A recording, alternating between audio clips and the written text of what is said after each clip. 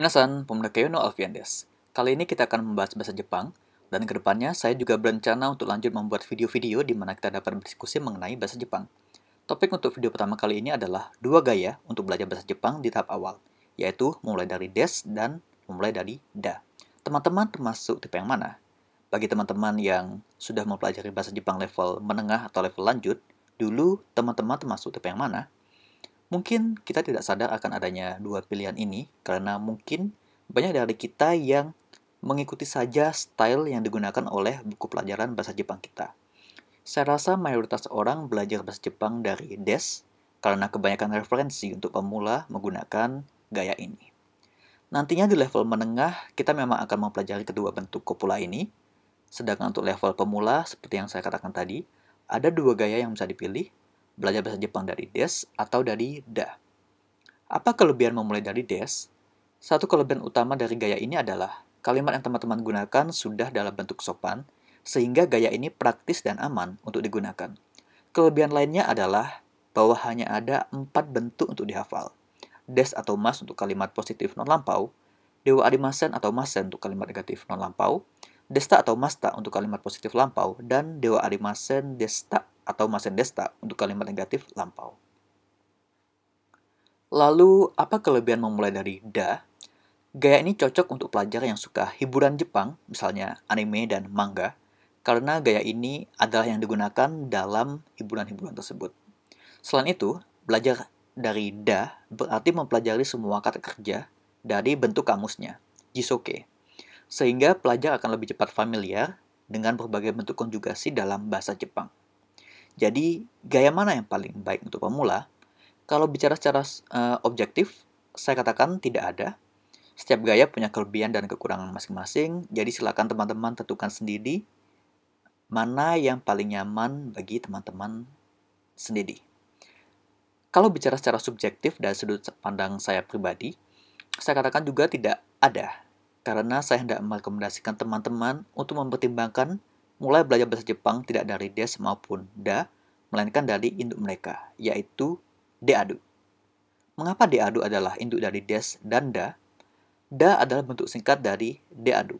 Selain itu, karena arimas adalah bentuk sopan dari adu, bentuk sopan dari deadu adalah deadimas, dan des adalah bentuk singkat dari deadimas.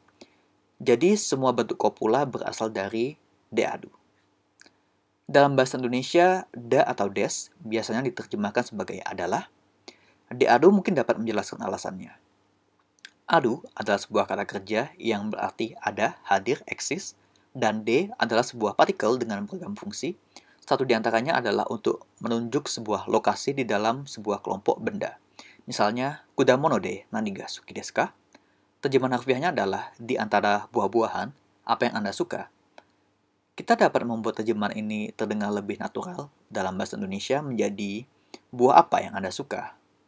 Jadi, DADO menentukan di kelompok mana topik atau subjek pembicaraan berada.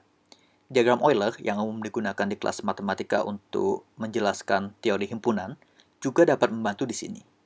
Mari lihat kalimat dan diagram berikut. Nihon wa kuni diadu. Diagram Euler menggambarkan bahwa terdapat sebuah himpunan kuni, negara, dan Nihon, Jepang, adalah satu anggota dari himpunan tersebut. Kalimat Nihon wa kuni de adu dipahami sebagaimana berikut. Terdapat Jepang di himpunan negara. Jepang adalah anggota dari himpunan negara. Jepang adalah sebuah negara. Dalam logika matematika, X adalah Y dalam bahasa Indonesia sehari-hari dapat diterjemahkan sebagai X adalah anggota dari himpunan Y, X elemen Y. Struktur kalimat bahasa Jepang tampak mirip dengan model logika ini. Jadi, X wa Y de adu, terjemahan harfiahnya adalah terdapat X dalam himpunan Y, dan terjemahan bebasnya adalah X adalah sebuah Y. Berabad-abad sebelum diagram Euler ditemukan, mungkin orang-orang Jepang sudah berpikir dengan konsep-konsep himpunan logika, sehingga jadilah struktur bahasa Jepang seperti ini. Apakah benar orang-orang Jomon dan Yayoi yang mendiami Jepang zaman dulu menciptakan bahasa Jepang berdasarkan konsep himpunan logika seperti ini? Ya, bisa jadi. Perlu ada penelitian lebih lanjut untuk membuktikannya. Satu hal yang jelas adalah Menggunakan konsep logika matematika seperti ini bisa membantu dalam mempelajari bahasa Jepang bagi sebagian orang, misalnya pelajar ilmu komputer seperti saya. Dan menurut saya, konsep deadu dan himpunan logika ini dapat menjelaskan beberapa fenomena dalam bahasa Jepang. Misalnya, mengapa bentuk negatif dari des adalah dewa arimasen?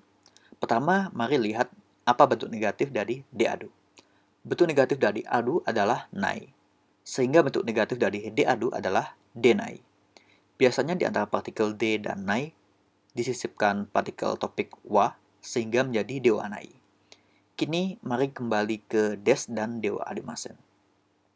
Des adalah singkatan dari De Adimas, dan Adimas adalah bentuk sopan dari Adu. Bentuk negatif dari Adimas adalah Adimasen, jadi bentuk negatif dari Des dan De Adimas adalah Dewa Adimasen. Dewa Adimasen adalah bentuk sopan dari Dewa Nai. Contoh lain adalah apa bentuk kondisional dari da? Bentuk kondisional dari adu adalah atara. Jadi bentuk kondisional dari de adu adalah de atara.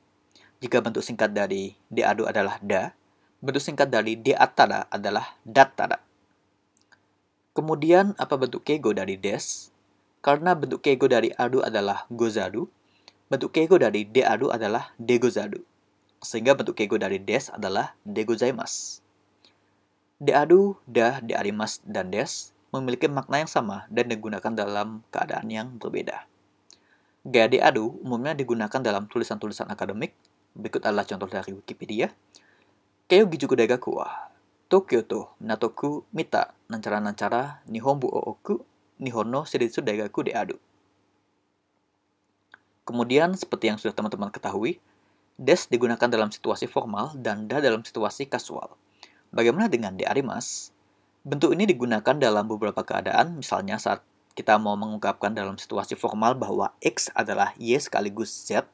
Contohnya, Tomodachi wa gaku se de adi, ben go se demo adimas. Terjemahan harfiahnya adalah, teman saya termasuk dalam himpunan pelajar dan himpunan pengacara. Terjemahan bebasnya adalah, teman saya adalah pelajar sekaligus pengacara. Baik, itu tadi video untuk kali ini. Style manakah yang paling nyaman bagi teman-teman untuk memulai belajar bahasa Jepang? Feel free untuk berbagi pengalaman dan menulis pertanyaan di kolom komentar.